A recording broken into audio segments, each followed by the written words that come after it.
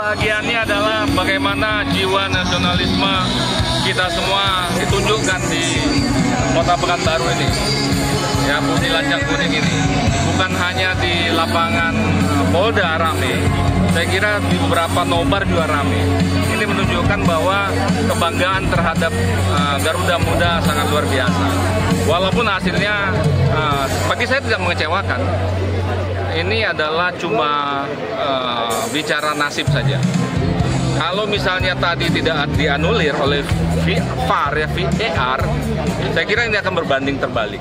Ya, ini memang secara psikologis mental akan mempengaruhi semua. Dan memang uh, Uzbekistan uh, berada sedikit di atas kita, tapi jiwa dan semangat uh, kejuangan Garuda Muda sebagai uh, pejuang-pejuang uh, Indonesia masa depan, generasi muda masa depan sangat luar biasa. Bagi saya, saya tetap bangga. Bagi saya, Garuda Muda tetap menang.